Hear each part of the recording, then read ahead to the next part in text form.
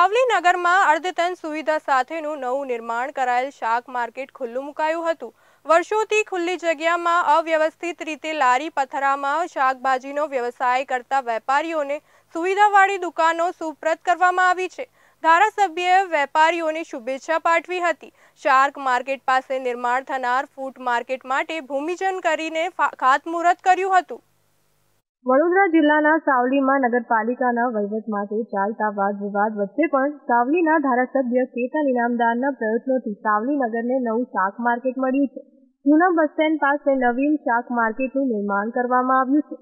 શાકભાજીનો વ્યવસાય કરતા વેપારીઓએ પોતાને ફાળવાયેલ નવીન દુકાનમાં શાકભાજી ગોઠવી, કથા કરાવી વ્યવસાયની શરૂઆત કરી હતી. સ્થાનિક ધારાસભ્ય કેતન ઇનામદારે વેપારીઓના વેપારમાં ઉત્તરોત્તર પ્રગતિ થાય તેવી શુભેચ્છા પાઠવી હતી અને નવનિર્મિત શાર્ક માર્કેટની બાજુમાં પણ નિર્માણ થનાર નવીન ફ્રૂટ માર્કેટની જગ્યાએ વિધિવત રીતે ભૂમિપૂજન કરી ખાતમુહૂર્ત કર્યું હતું. આ પ્રસંગે સાવલી નગરપાલિકા પ્રમુખ કેતન શેઠ નગરસેવક કમલેશ શાસ્ત્રી ભદ્રેશ પાઠક મહેશભાઈ પટેલ, અન્ય નગરસેવકો કાર્યકરો, નગરજનો, અગ્રણીઓ ઉપસ્થિત રહ્યા હતા.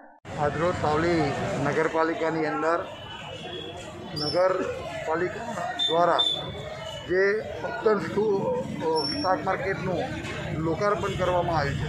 અને આજ દિવસથી, ગુરુવારના દિવસથી શાક માર્કેટના તમામ વેપારીઓએ નવીન શાક માર્કેટમાં પોતાનું સ્થાન લઈ લીધું. ત્યારે હું પરમ પૂજ્ય સ્વામીજીને અને પરમ પૂજ્ય ભીમનાથ દાદા અને નબીસા દાદાને પ્રાર્થના કરું છું કે એમના ધંધામાં એ બરકત પૂરે અને ઉત્તર ઉત્તર એ લોકો પ્રગતિ કરે.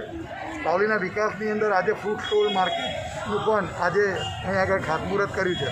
તો હું ફૂડ માર્કેટના ફૂડના વેપારીઓને પણ ભગવાન ઉત્તર ઉત્તર પ્રગતિ કરાવે અને એમના ધંધા રોજગારમાં બરકત આપે અને સાવલી નગરપાલિકાનો વિકાસ અવિરત આવીને આવી રીતે સતત સ્વામીજીના સપનાનું સાવલી બનતું જાય છે. એનો મને આનંદ છે અને પરમ પૂજ્ય સ્વામીજી અને નબીતા દાદાની કરમ કર્મભૂમિ આ જે છે, તો કાયમી અને આવીને આવી અમી રહે એવી હું પણ એમને પ્રાર્થના કરું છું ઇકબાલ પઠાણ લાઈવ ગુજરાત ન્યૂઝ સાવલી.